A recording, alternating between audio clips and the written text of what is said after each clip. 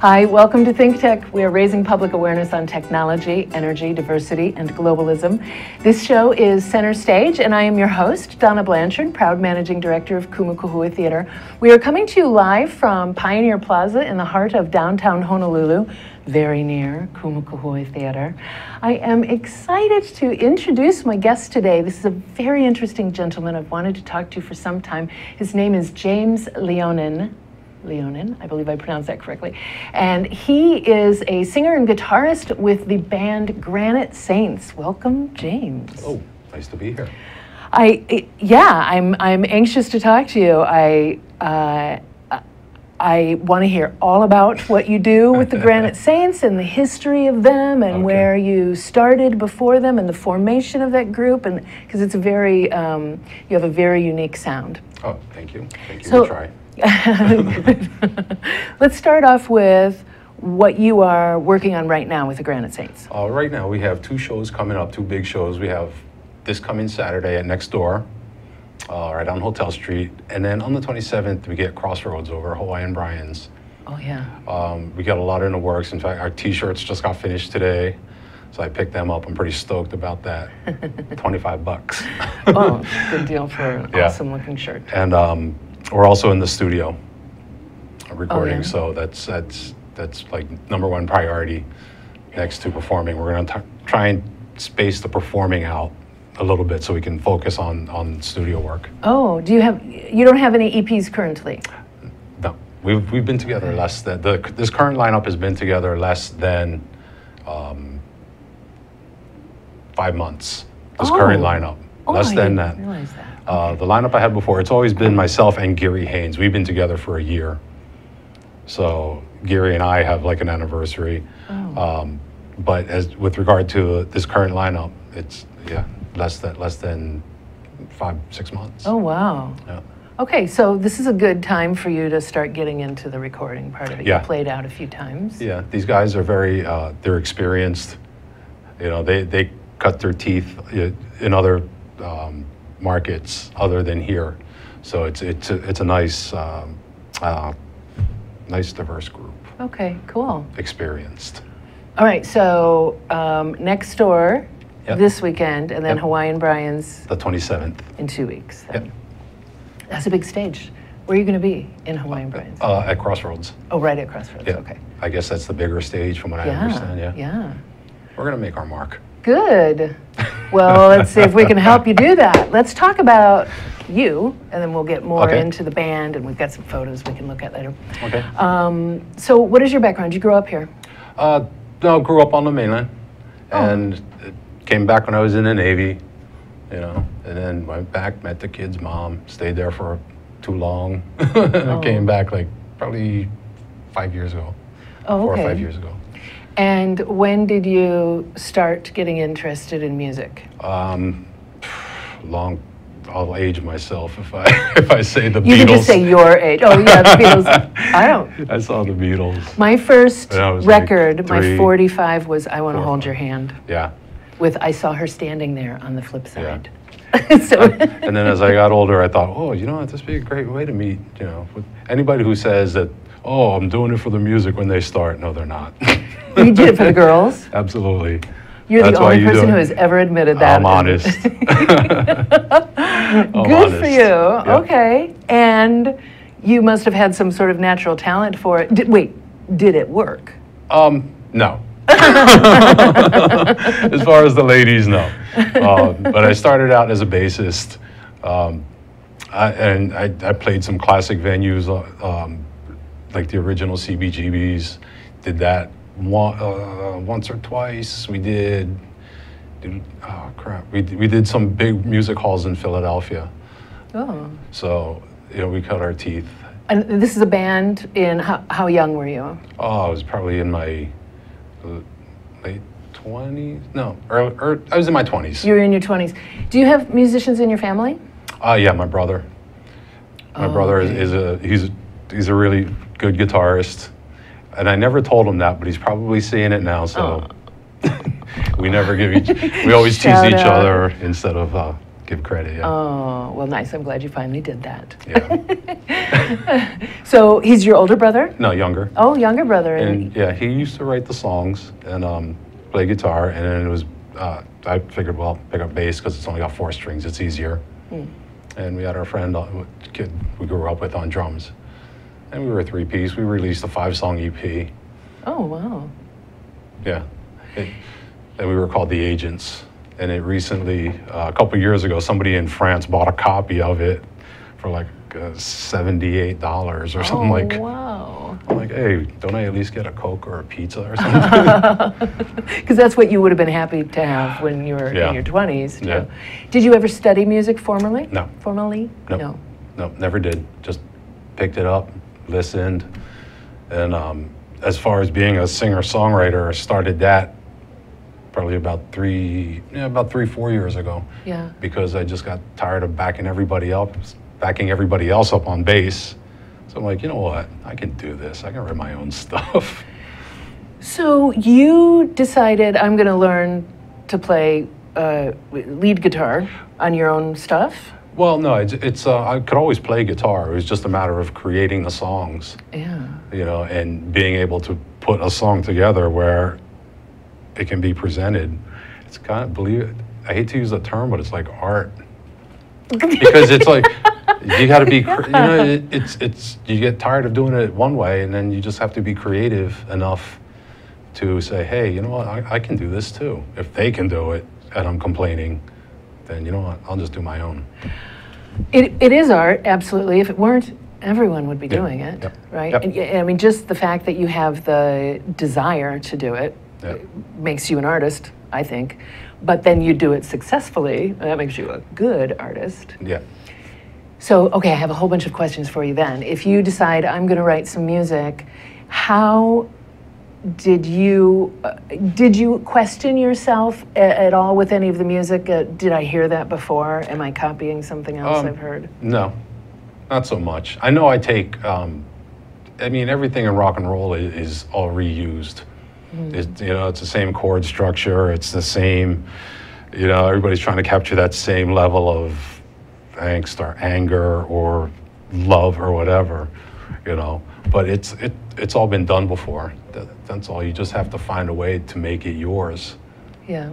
you know, um, because you can hear you can hear an artist, and he can say he's the most rock and roll person on the planet. You know, these are my songs. But then when you hear it, it's like, wait a minute, that sounds like the Eagles. Wait, wait a minute, that's that's kind of mellow. How can you say that's not rock and roll?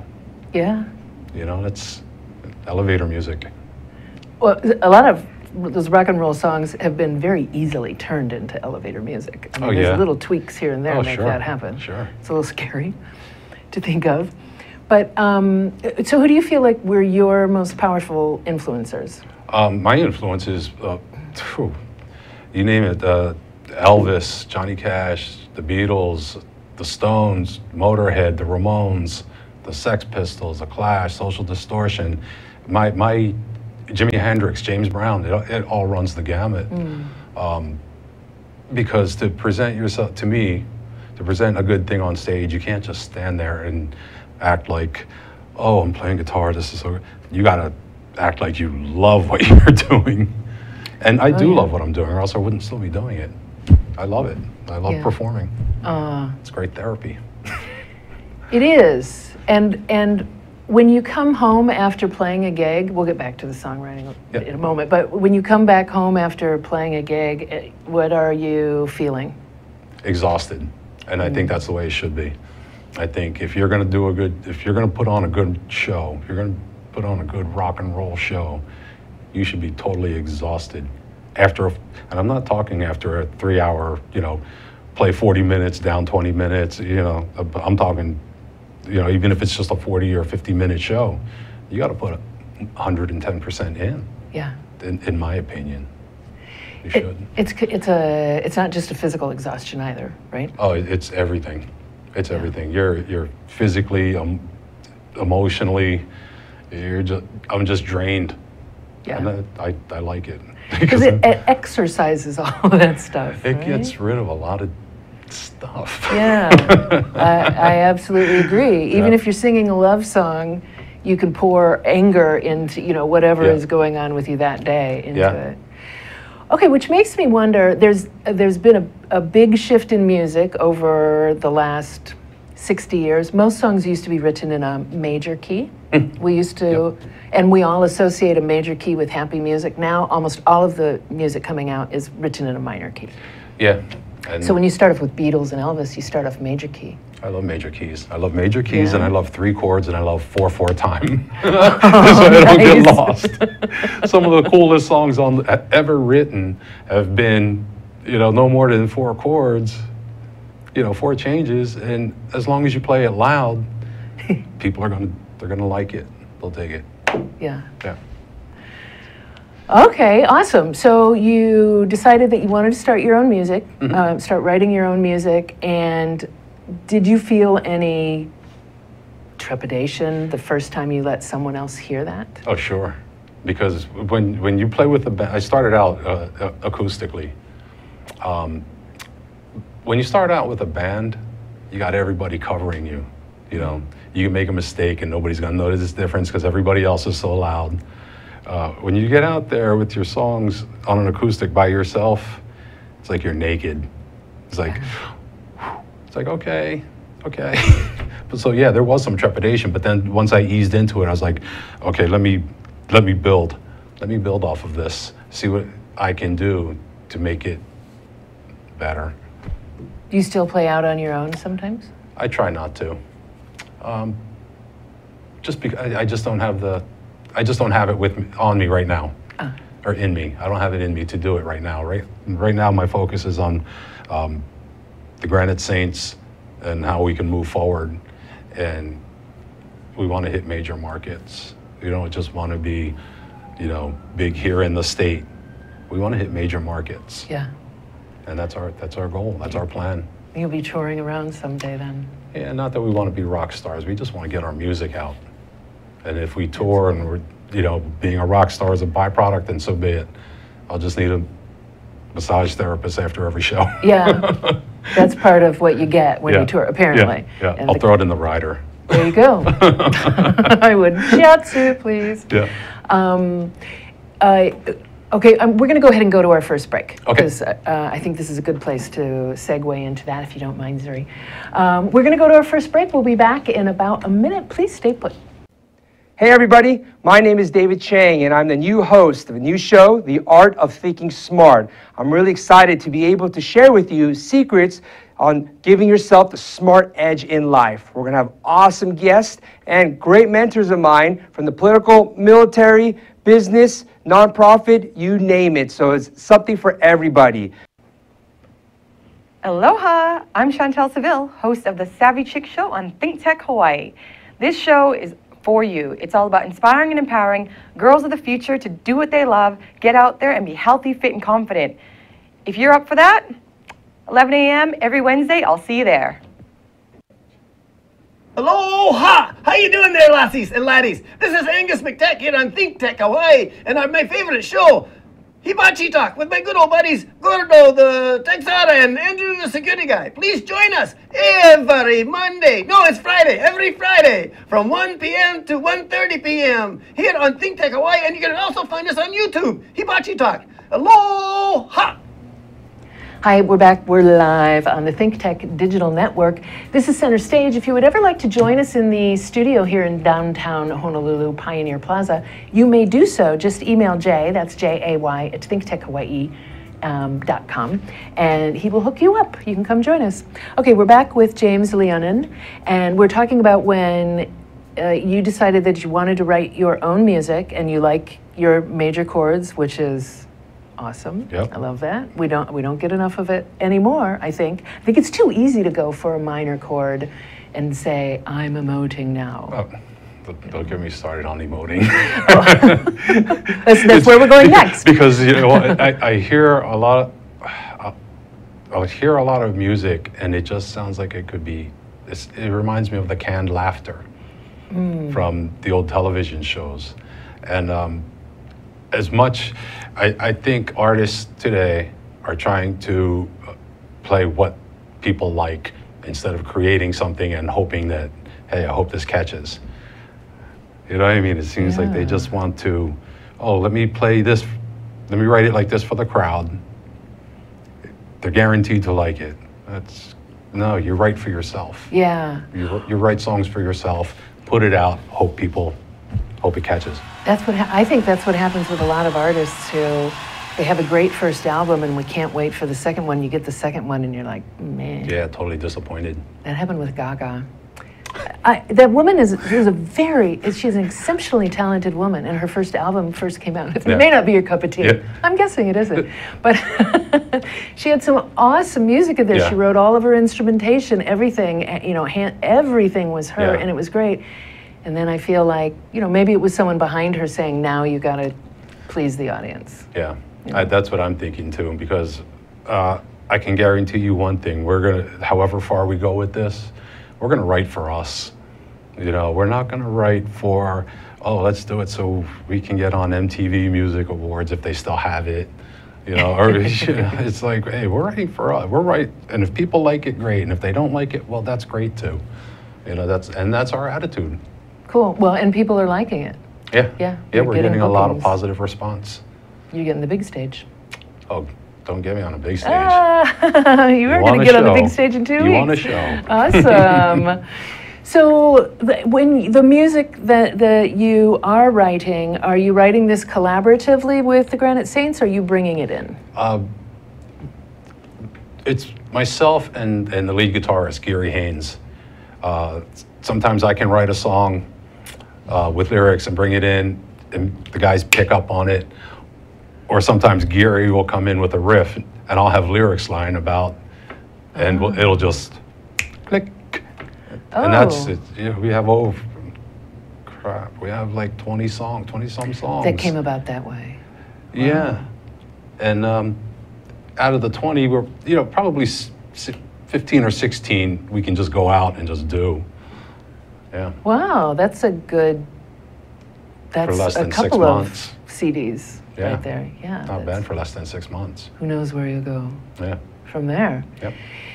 So, do you feel like your pieces are um, a, a collection? If I heard, if I heard something of yours, and then a day later I heard something different, would I say, "Oh, that's that same group"?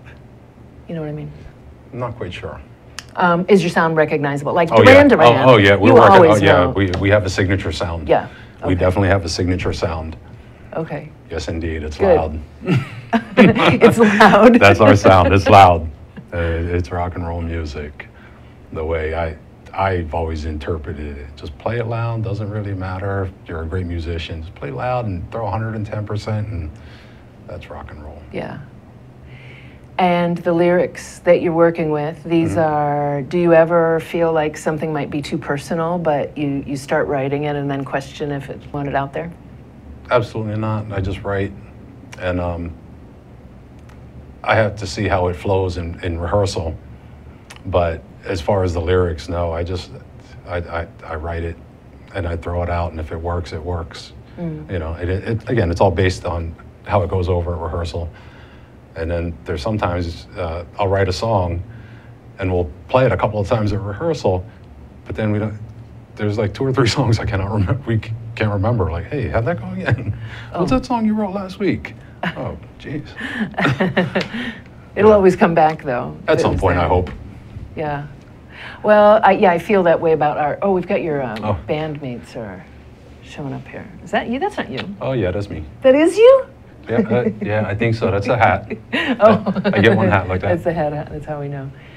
Um, uh, yeah, I feel that with art, see now, yeah, it's the hat and the tattoos. Um, you, uh, i- i- anything that you create will, uh, will come back to you when the time is right. Yeah, You know, yeah. you don't have to worry about holding tight onto something. It'll No. always come back. Um, we, ha- I thought we saw, I thought saw a tweet just a moment ago, Rich. Uh, then we got a second one. Yeah, Kendra Black tweeted the Granite Saints prevailing and ailing music industry. Huh. There you go. Uh, I don't know. I don't know Kendra Black, but yeah, that's what we try to do. We think the music industry is kind of ailing. Again, like I said, everything sounds like it's like so prepackaged. Just go buy it. Hey, go buy. Um, uh, what's the one? Is it? I can't remember the band's name. They're from Canada. Oh, I don't know who you're talking about. Metal? Rock? um, like top forty. Oh, who? Uh, Coldplay. Are they from Oh. Canada? I don't know. I think so. I think it's them. They're pretty repulsive. Oh. It's like go back. Take Justin Bieber with you. I'm not a fan. I caught myself humming one of his songs the other day, and it really. Okay, I gotta me. go. I know, but now listen, he had. Well, that's part of he, the hook. Mm-hmm. You know that someone is right. It's not him writing these. Right, You know, right. someone is writing a good hook. Who was I interviewing? Um, Jack Doom. Oh, you know, who does the booking. Yeah, for yeah, yeah, yeah, Um, and he talked about in his uh, sometimes to write his music, he will listen to like um, uh, Britney Spears. Uh, you know, some That's of the younger artists who, but they have someone writing good hooks for them. Yeah. Do you are you concern yourself with that at all? Um, that, I like I like to make my stuff, even though it's loud and it can be sometimes. A couple songs might be a little offensive to people, just because of the how I, in my delivery. Um, The actual words. Yeah. Or- yeah. yeah, and how I deliver it. Yeah. Um, it might be offensive to some, but at the same time, uh, you need a good hook. You, you need a good hook, Yeah. whether it's whether it's uh, a guitar line or or the, a drum part or a chorus or a, you know you, you need a hook. Yeah. It- It's that simple. That's you know it's the same thing with musical theater. You want the song that people hum when they leave the theater. Yeah. That sticks in there, Yeah. and that's what Justin Bieber did to me. I hate him for it. I, I, I really do. I don't want to have anything to do with the young man. I'm Yeah. sure his parents are very lovely people. yeah. Um, so the way you deliver it, your um, the emotion that you're putting into Yeah. it is what you're talking about. Yeah. Yeah, that's yeah, I- awesome. yeah, I, I tend to rail slash rant, but not in a way that you can't understand what I'm saying. But you just under you you get the the emotion that I'm trying to uh, deliver. Our, our our shows are pretty emotional. yeah. Yeah. Oh, well, I'm sorry to say I haven't seen one yet, but I'm very anxious for Saturday night at Next Good. Door, which is next door to Bar 35. Oh yeah. And, it's, and next door, just in case people are wondering. I happened to be down there today. I was like, oh, that's that's where it's at. yeah, right there. Yeah. Good space. Partners of Kumu Kahua Theater. Oh, okay. Okay. Yeah, happy you're going to be in there. Um, so, what is next? You're going to be putting together your EP. Yep, yep. That's what we're working on right now. We have, uh, I want to say we have two in the can. Uh, we're probably going to do uh, another four more to put on the on the on the EP. So Yeah. we're pretty stoked. We'll put it on. You know, we'll put it on um, iTunes and whatever whatever other website that people can pay for and download. Download. Cool. Yeah. Get it out there. Oh, yeah. Because you can. Yeah. Now, you know, it's, Yeah. it's so much easier than it used to be. You, Yeah. you have to start there. And then, are you the person, are you doing the booking and the marketing as well? Well, we, we, we all try to do the booking, um, but we want to choose our spots. Uh, we don't want to just go out and play uh, just to say, oh, yeah, we played this certain place. You know, for us, uh, like I said, our goal is the major market. So we want to do exposure, you know, exposure shows. This way, let's say, let's, for example, let's say The Cure comes to town again. We'll say, hey, you know, we want these guys on the bill. Oh, there you go. Yeah. Okay. We don't want to just do, oh, we're big in Honolulu. Oh, we're big on Maui. Oh, we're big on Kauai. Oh, we're big, you know what I mean? It's, Yeah. as much as I love it, you know, it's still a limited market. There's limited um, places Yeah. to go. Well, and there's a limit for your audience, how many Sure. times they're going to be able to be really excited to go out and Right. see you. Right. Yeah. So you need to s- spread out a little bit. So I think the next, I think the next goal, once we, once we conquer the state, next one's going to be San Diego. Oh. I want to get into San Diego. got some connections there? I may be able to work some. Might be able to work some. okay, okay, that's good. So, do you, um, was the band called the Granite Saints when it was you and, um, I'm sorry, Uh, Gary? Gary? Yeah, Yeah. initially. Um, initially, when I did acoustic, um, I, heard, I got with a percussionist, uh, Brady Kamai. oh, yeah. yeah, Brady. Brady. Great guy, and That's you know he wanted to back me up, and I said, hey, you know what? We'll just call ourselves the Granite Saints. just because.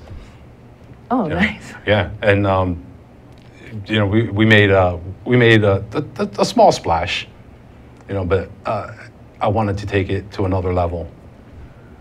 Okay, so then you reached, did you reach out to people or did people, tell me a little bit about the Uh, oh, making of okay, the the- band. about the making of the band. First, uh, again, it was just Brady and myself.